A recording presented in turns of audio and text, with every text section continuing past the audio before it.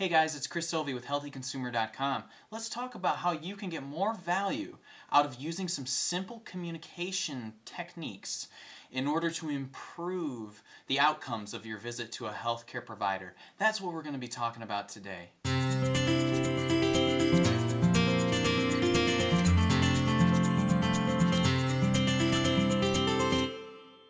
First things first, this is going to be a Cliff's Note version of what I'm going to expand upon further in my article on healthyconsumer.com. So check out the full article in the description below. Communication starts even before you walk into the office. Make sure that you filled out all your paperwork.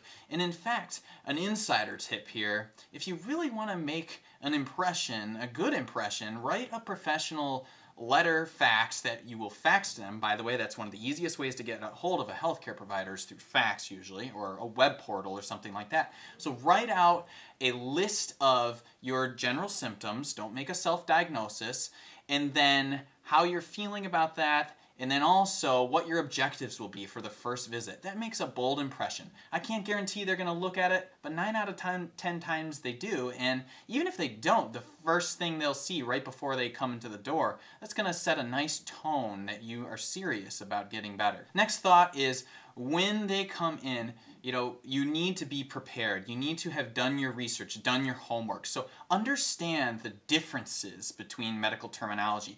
When somebody comes in, you if if you came into an office and you're having some shoulder pain, you wouldn't want to say, ah, "I've got some shoulder pain over here."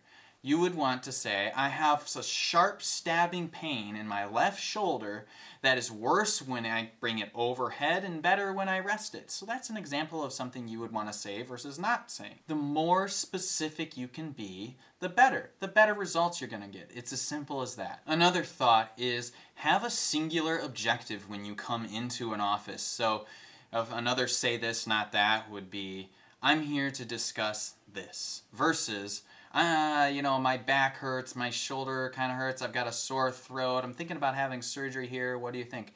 Just like anything else in life, if you focus on one thing at a time, you're going to get a lot better results. Another important point is see your healthcare provider as a collaborator, not a superior to you. Yes, they have specialized training, but any good practitioner is going to listen to you and work with you as part of your team.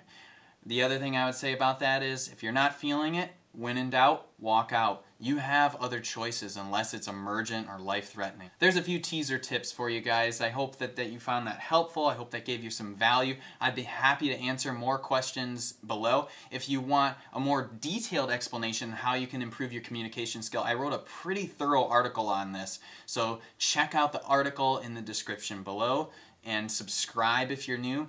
Give it a like if you found this helpful. Thanks a lot, guys. Have a wonderful day, and cheers to your health.